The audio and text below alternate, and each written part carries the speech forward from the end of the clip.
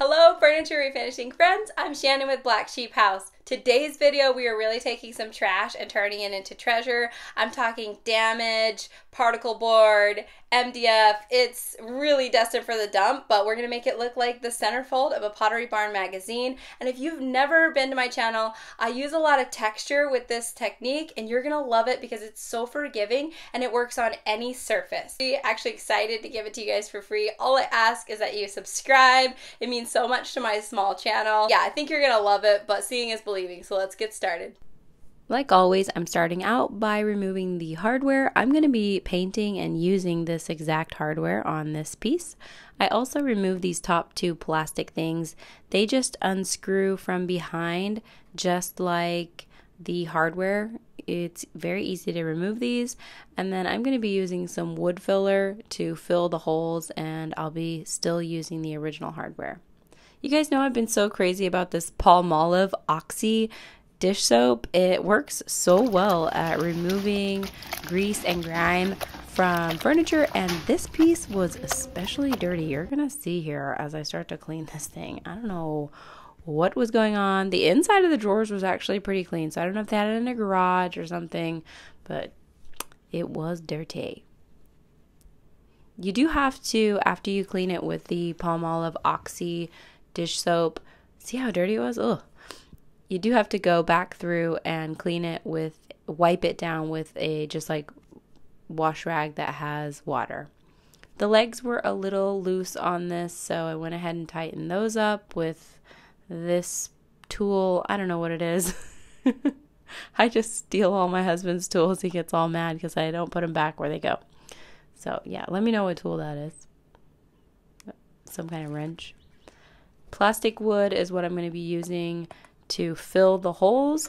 My hack is that I keep it in a plastic bag, and I heard from Pretty Distressed that you can keep it in the refrigerator as well, so to keep it from drying out. Because when you buy a big thing of it and you don't use it very often, it can dry out, and you don't want to waste your money. So, just using a putty knife you can find these at the dollar store or at your hardware store. They actually have some um, spackle too at the dollar store, but it's not quite as hard as um, plastic wood.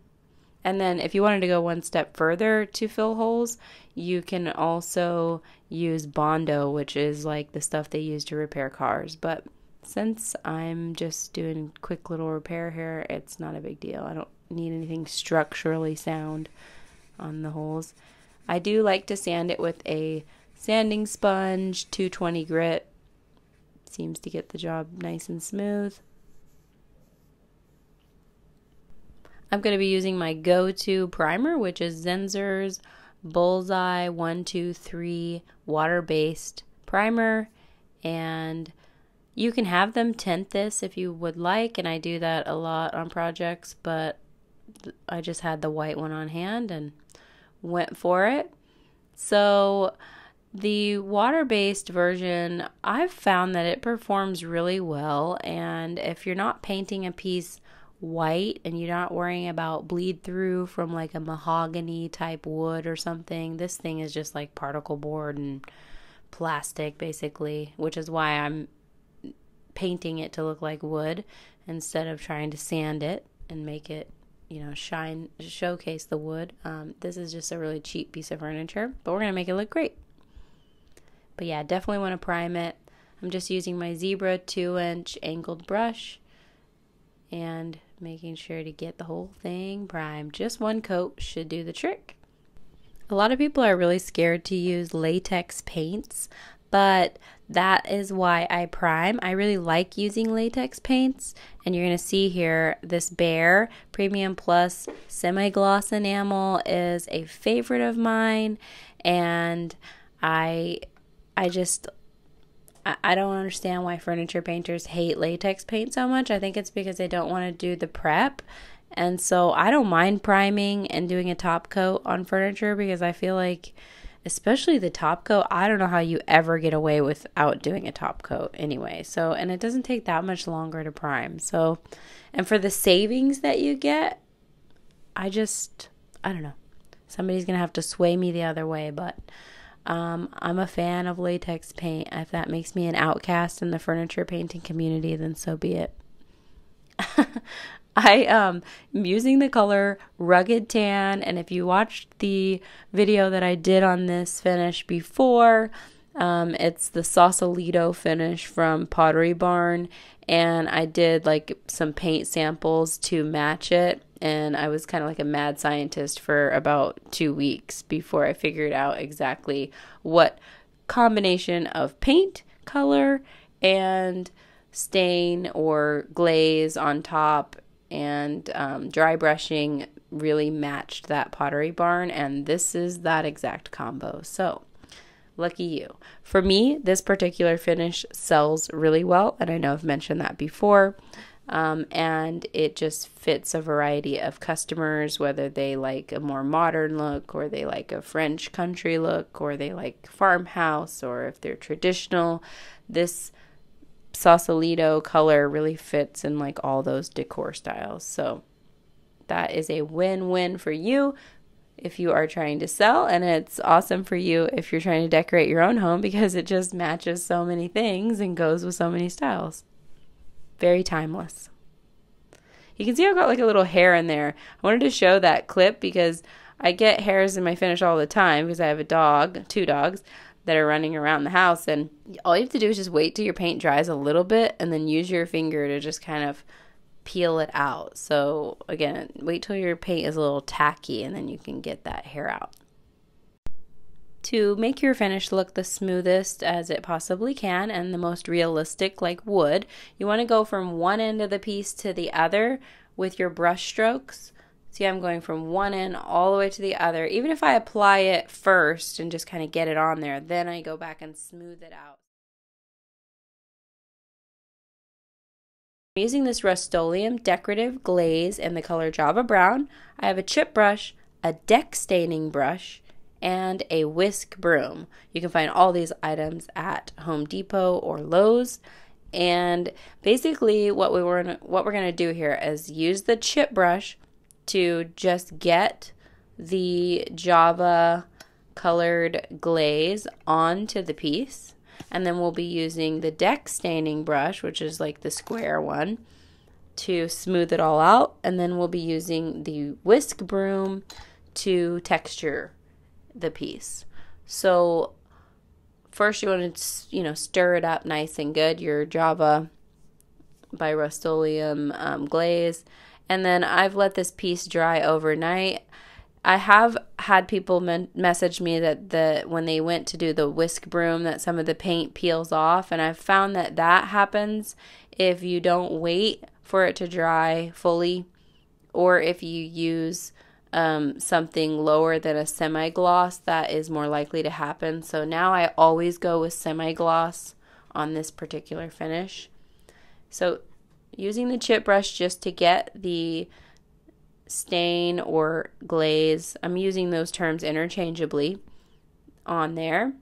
They they basically work the same way.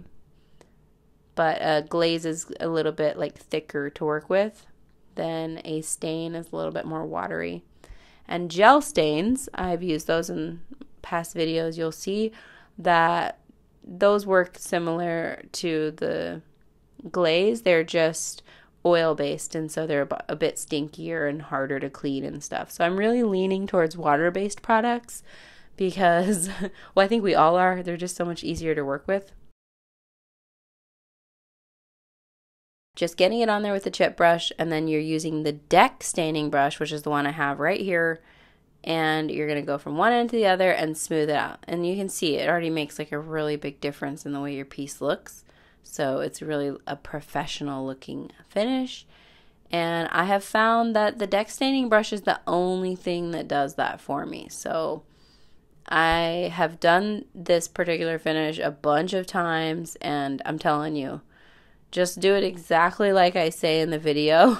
Sometimes it's great to be creative with furniture refinishing, but I've found with this particular finish, anytime I try to like wing it and do something a little different, it just turns out ugly. So let me know in the comments if you've tried this finish and done something a little different and it worked for you, but I've not been successful.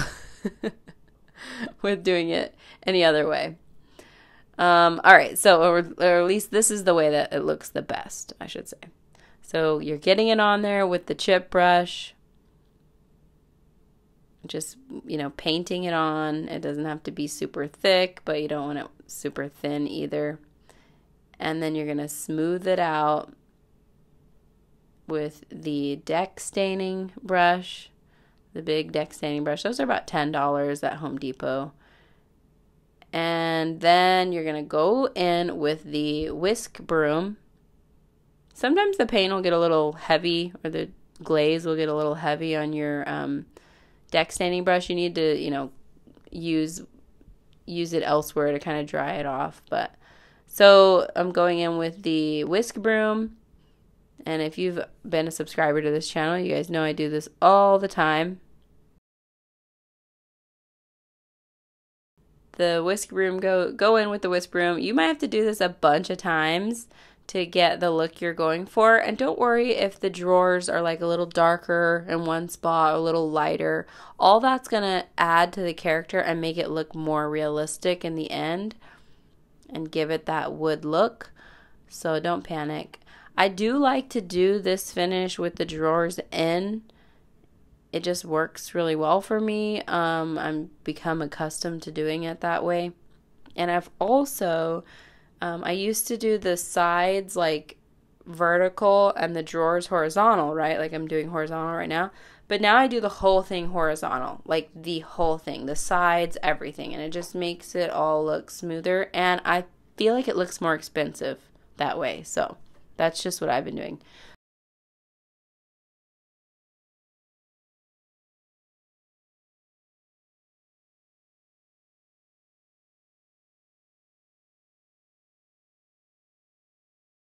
This other little hack here, sometimes the spots are too small for your whole broom. You don't want to send your whole broom in there. You can see I got like a little mark where one of the bristles wiped it away too much. And all you have to do, you can either smooth it out again with your deck staining brush, because again, you've got tons of open work time, which means it's drying slowly. And, but what I did is just kind of smoothed it out with the whisk broom.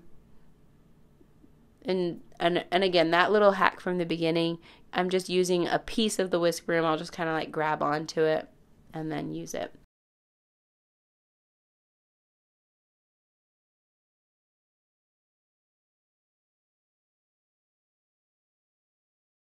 The next step that we're going to be doing, this is really the final step before you do a top coat, is a dry brush. I've said in other videos that this particular step is optional because you can see it, it already looks really good, the dresser. You could just clear coat it and call it a day, but I do feel like that this really elevates it um, and it doesn't take that much time and I've just, I don't ever not do it. Okay, so I'm not saying you have to do it to have a good looking piece, but I always do it. Um, and it's just this yellowy color. It's the color that they used to make all the walls in the 90s. and um, it's like that creamy yellow color. And then I just dry brush it on there with a bigger chip brush Dry brushing is a technique, if you're not familiar with, um, it's where you just barely get any paint at all on the tip of your brush and then you dab it onto a paper towel or a towel and then you brush it onto your piece. Here it is up close and you can see, you know, some spots are a little heavier, some spots are a little lighter. I try to just blend it all in. You can use a paper towel to smooth out some of the spots that maybe got on there a little bit too heavy. But overall, I feel like this step really just takes the piece up a notch. You can see on the left side, I haven't done the dry brushing. And then on the right side, where that corner is, in the front, you can see I've done the dry brushing. So it like lightens everything up a little bit. It just blends and I don't know. Just really adds to the piece, I think. What do you think? You think I should leave it without doing the dry brush? Am I wasting my time? Let me know in the comments. So yeah, I just spray painted these black and then I'm using metallic antique bronze by Modern Masters I bought this at Hobby Lobby, but I think it's the cheapest on Amazon. It's like 10 bucks. And I just dry brush it on there and then I use a paper towel to kind of dab it away. I personally like the like bronzy look, but you could just go with like the matte black too or you could spray paint them gold. Um your options are limitless.